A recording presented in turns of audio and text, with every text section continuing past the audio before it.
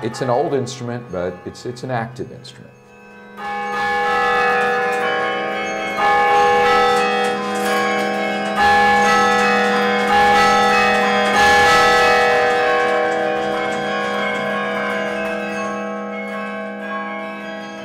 The Joseph Dill Baker Memorial Carillon is a true treasure in the city of Frederick. Located in Baker Park, residents and visitors of all ages enjoy the sound of the bells as they stroll along Carroll Creek, play on one of the many playgrounds, and enjoy picnics near the bandshell.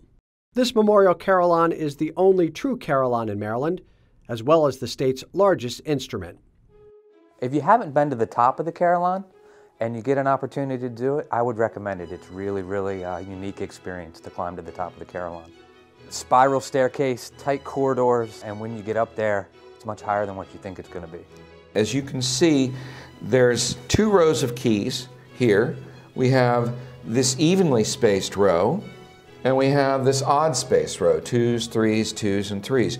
And when you look at it that way, you realize that it's a keyboard instrument. These evenly spaced keys, although they're not white, are the white keys. These oddly spaced keys, although they're not black, are the black keys. John has been the carillon player uh, for the city of Frederick at the Baker Park Carillon uh, for quite a few years.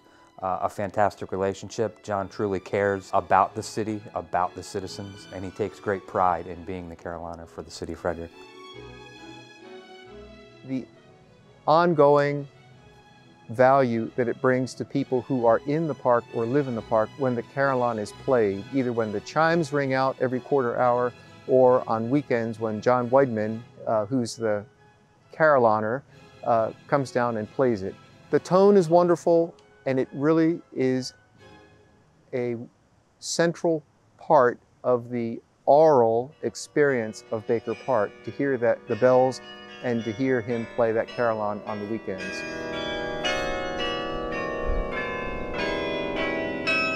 I've been the city carillonneur now for 26 years, and then around August of 1992, we got home uh, to where we were living, and there was an envelope with my name misspelled on it and a brass key in it.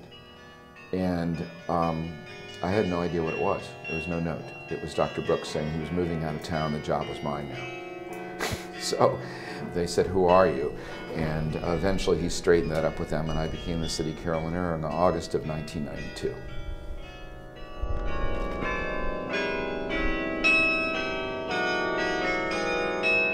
This wonderful piece of architecture is well documented through numerous paintings and photography and is a representation of the strong community here in Frederick.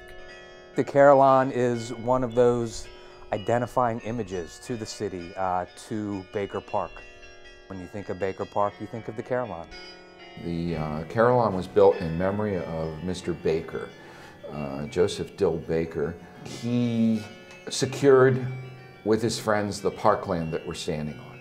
He was a great philanthropist and people loved Mr. Baker. His relatives still live in town. He died 10 years later in 1938, and they were seeking a suitable memorial to him. And um, people from all over town, hundreds of people gave, children gave pennies from their piggy banks to build this tower in memory of Mr. Baker. He was that beloved. And in 1941, uh, three years after he passed, it was dedicated to him.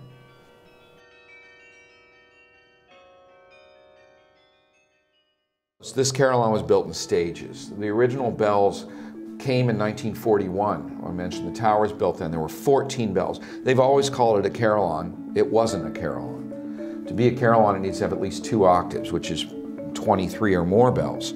And uh, it wasn't expanded to a carillon until 1966. It was a city election year in 1965. And there, there was a lot of apathy. And they had no primary everybody went on to the general election, but elections are expensive. So the funds were saved for this, and the carillonneur said, we really need to add, I can't play enough tunes on the carillon. Let's add nine bells and make it 23. And he talked them into spending the money that wasn't spent on the 1965 primary city election on this instrument. And that was how renovation number two happened. Friends of Baker Park was founded in 1991 by Victoria Seward, who was a neighbor to the park. And uh, as such, she was concerned about especially the trees. As you know, trees need to be pruned, trees need to be planted as, as trees die. And so she was concerned about the quality and the status of the trees in Baker Park, and that led to the formation of, of this Friends group to help the city as, uh, as a way of enhancing and maintaining the park. One of the early projects that we were engaged with was the refurbishment of the Carillon, which had been severely damaged by the floods that took place in 1976. And that, of course, led to the Carroll Creek project that led to the viaduct to take the stormwater underneath the city as opposed to through the city.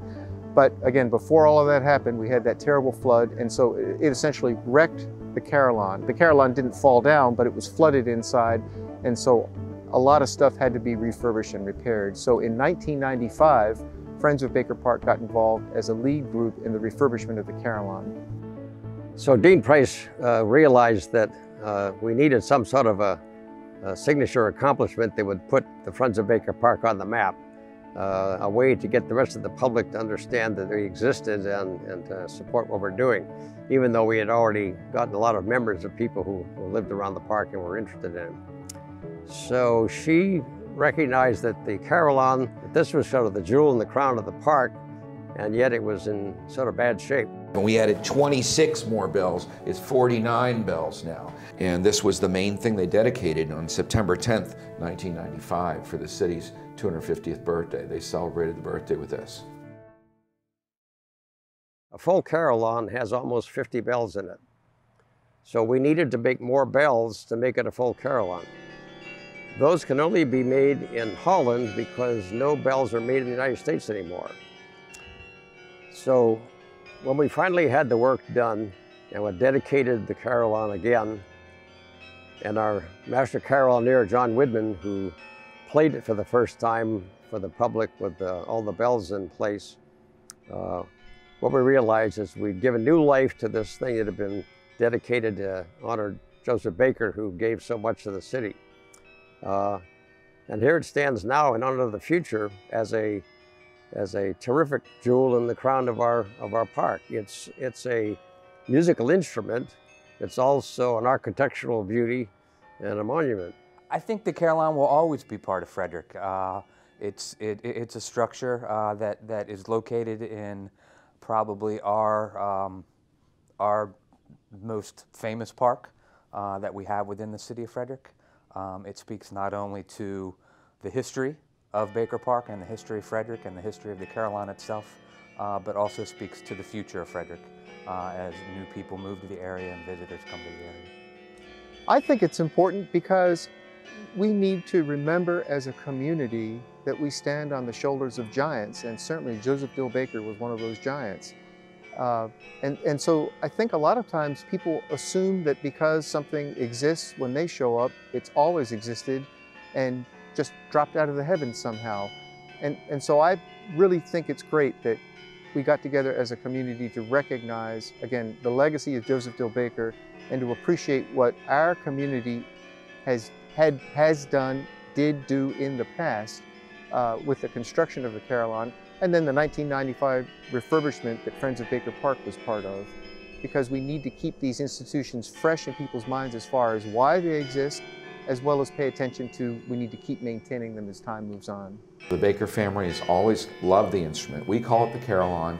Their family that's still around still calls this, this tower grandfather.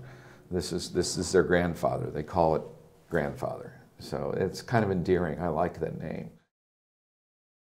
Thank you to John Widman, the Friends of Baker Park, the City of Frederick's Parks and Recreations Department, and the residents of this great city for the continuing support of the Joseph Dill Baker Memorial Carillon.